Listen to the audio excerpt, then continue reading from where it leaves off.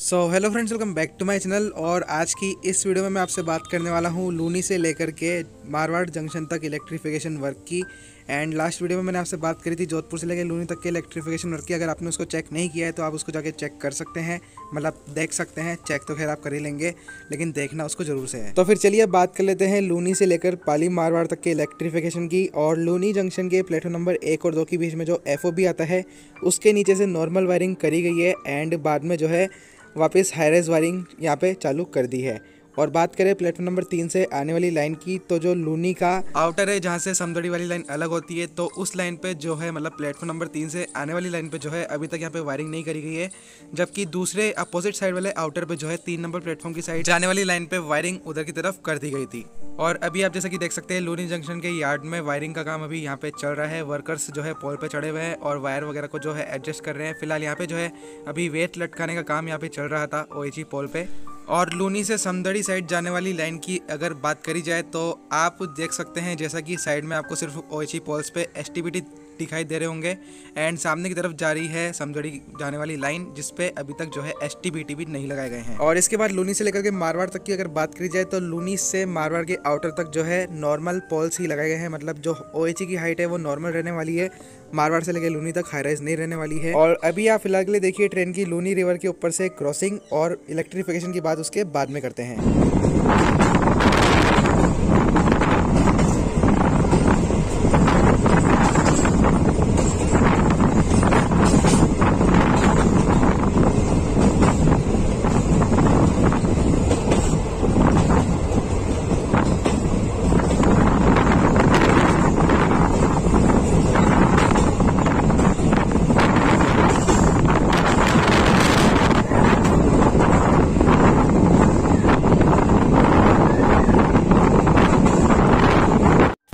So guys Luni river cross करने के बाद आपको यहाँ पे हाई राइज पोल्स दिख रहे होंगे, जिनके ऊपर अभी तक वायरिंग नहीं करी गई है। एंड ये हाई पोल्स जो है, वो थोड़ी ही दूर तक रहने वाले हैं। उसके बाद जो है वायरिंग वापस नॉर्मल हो जाएगी। आप जैसा कि देख ही सकते हैं, जो एस है, उनको अब पोल्स पर थोड़ा सा नीचे की तरफ़ लगाया गया है। एंड लूनी से लेकर रोहट की अगर बात करी जाए मतलब इस सेक्शन की अगर बात करी जाए तो लूनी के लगभग तीन से चार किलोमीटर आगे तक जो है वायरिंग का काम नहीं हुआ है। और उसके बाद भी लूनी से लेकर रोहट के बीच सेक्शन पे अभी तक वायरिंग का प्रॉपर काम हुआ नहीं है। कहीं पे वायर डिले पड़े हैं तो कहीं पे वायर को बस तारों से बाँध दिया गया है। अभी जैसा कि आप यहाँ पे देख पा रहे हैं, ड्रॉपर को ठीक से यहाँ पे लगाया नहीं गया है। कनेक्टिंग वायर से जो है, कैटनरी को बस एक छोटे से तार की सहायता से बाँध दिया गया है।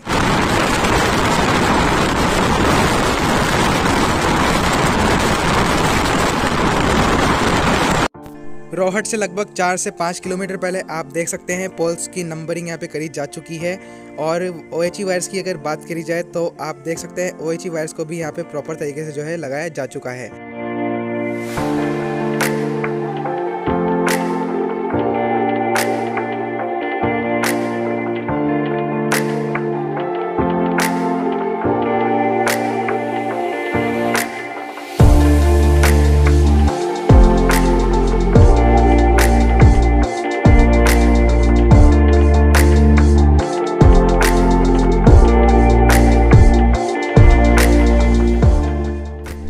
करें अभी रोहट स्टेशन पे वायरिंग की तो आप देख सकते हैं यहाँ पे ड्रॉपर को नहीं लगाया गया है, बस कैटनरी से जो है कनेक्टिंग वायर को एक छोटे से तार की सहायता से यहाँ पे बांधा हुआ है।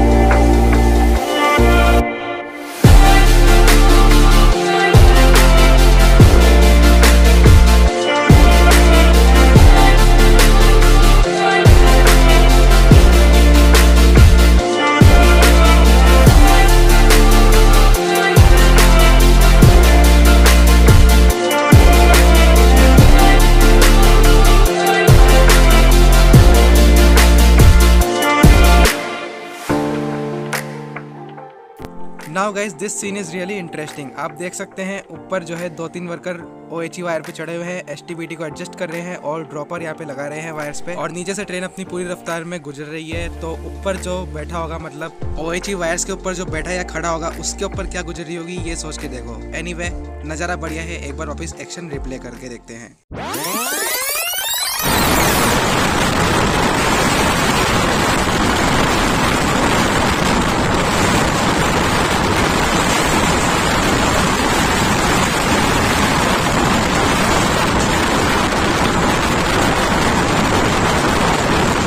अब जैसे कि आप यहाँ पे रोहट स्टेशन के निकलने के जस्ट बाद में देख सकते हैं, यहाँ पे सब स्टेशन बनाने का काम जो है अभी भी चल रहा है। इसका काम अभी तक पूरा हुआ नहीं है और जोधपुर से लेके यहाँ तक अभी तक कोई भी सब स्टेशन का काम पूरा नहीं हो पाया है।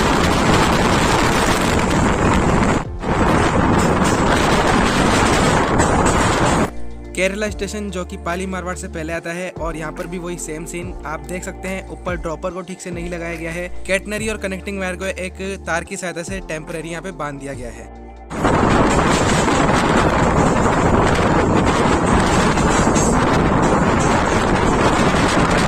अभी जैसा कि आप यहाँ पे देख सकते हैं स्टडी ट्यूब को नहीं लगाया गया है मेन लाइन पे और लूप लाइन पे अभी तक वायरिंग का काम बिल्कुल भी शुरू नहीं किया गया है।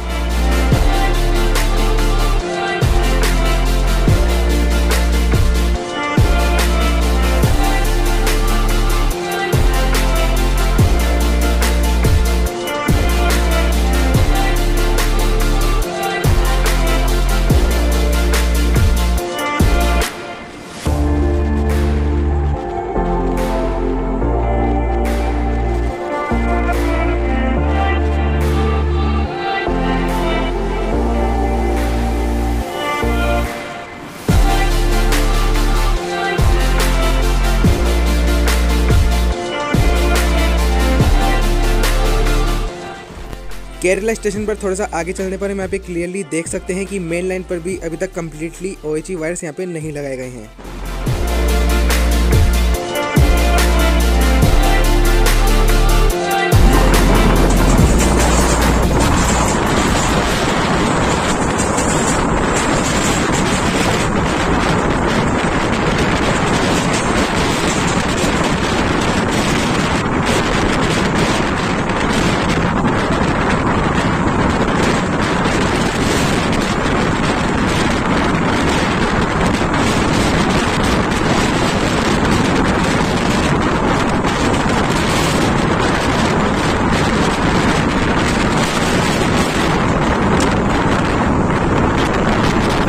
सो so गाइज़ ये जो आप जगह देख रहे हैं, ये केरला और पारी मारवाड़ के बीच में एक जगह है, जहाँ पे आपको एक ही वायर लगी हुई दिखाई दे रही होगी। ऊपर नॉर्मली दो वायर लगी हुई होती है, लेकिन जिस दिन मैं ये अपडेट रिकॉर्ड कर रहा था, उस दिन सुबह जो है यहाँ पे ओ एच वायर्स की चोरी हो गई थी। तो ये उसी चोरी का नतीजा है कि आपको सिर्फ़ ऊपर कैटनरी वायर लगी हुई दिखाई दे रही है, नीचे जो कनेक्टिंग वायर लगाई गई थी, उसको चोर चुरा के ले गए और कैटनरी वायर को छोड़ के चले गए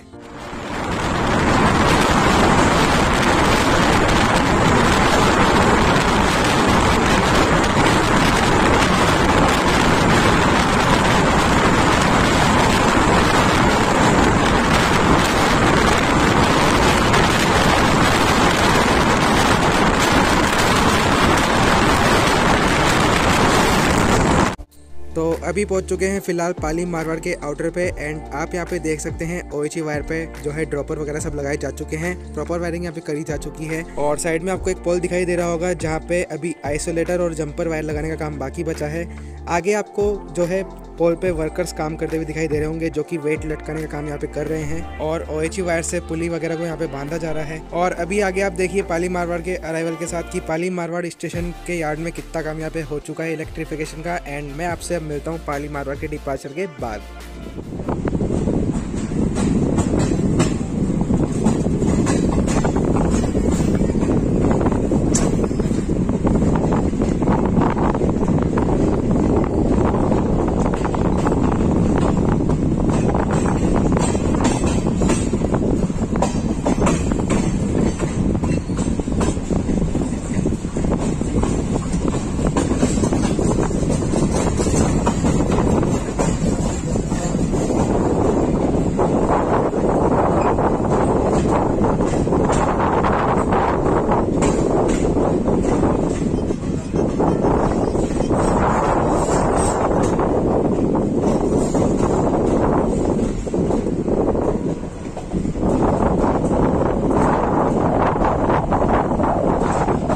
नाउ गई जैसा कि आप नोटिस कर पा रहे होंगे ओ एच मास्ट के ऊपर वहाँ पे एक इंसुलेटर लगा हुआ है, जहाँ से जंपर वायर को लेकर जाया जाएगा, लेकिन अभी तक जो है जंपर वायर को यहाँ पे लगाया नहीं गया है।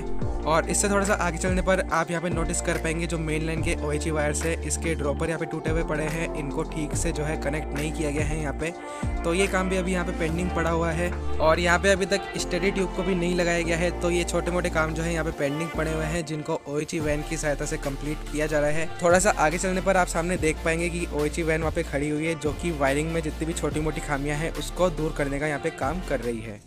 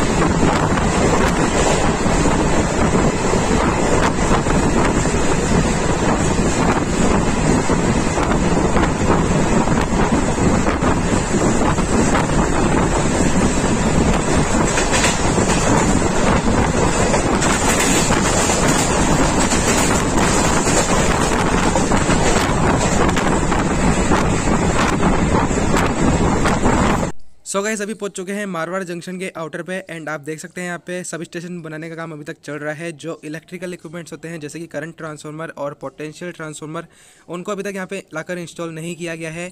और पाली मारवाड़ से लेकर मारवाड़ जंक्शन की बात करें तो बीच में दो स्टेशन आते हैं, एक तो बोमादरा और राजकावास स्टेशन तो इन दोनों स्टेशन पे जो है वायरिंग वगैरह सब कंप्लीट है। और बात करें मारवाड़ जंक्शन के आउटर की तो अभी तक जो है कर्व पे ओ वायर नहीं लगाए गए हैं। आप आगे देखने वाले हैं कि पोल्स पे एस वगैरह लगा दिए गए हैं, लेकिन अभी तक जो है वायरिंग का काम यहाँ पे शुरू नहीं किया गया है। और अभी आप आगे एंजॉय कीजिए मारवाड़ जंक्शन पे ट्रेन का अराइवल वो भी एक खूबसूरत कर्व के साथ। एंड मैं आपसे मिलता हूँ आप सीधा मारवाड़ जंक्शन पे पहुँचने के बाद।